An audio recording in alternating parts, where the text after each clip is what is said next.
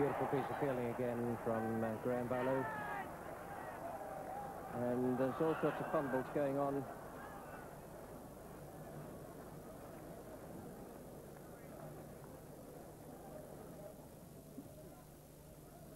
Difficult decision there for umpire John Langridge.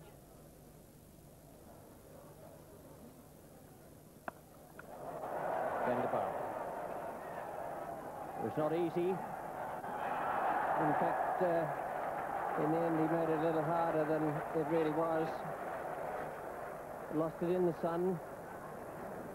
Inter Intikhab's really wound up for this one, and he's hit it, I should think, somewhere near the middle of the bat, and it's gone very, very high. And I think Vincent's come round, seems to lose it a little bit in the sun, and then, uh, unfortunately, couldn't recover, but uh, it would have been a fine catch.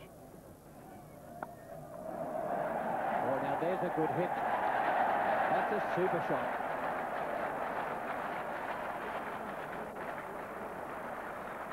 A delighted crowd out there at cover point. The ball fairly rocketed into them.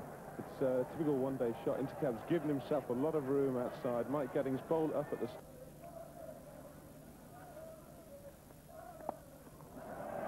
Roland Butcher, safe.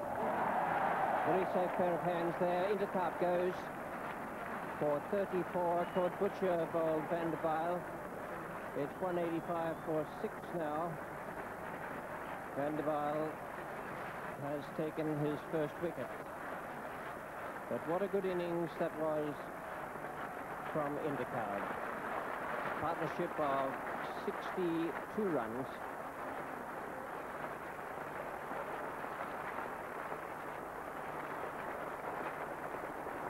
And the crowd rising to Intikhab for Farming's put his side back into the hunt.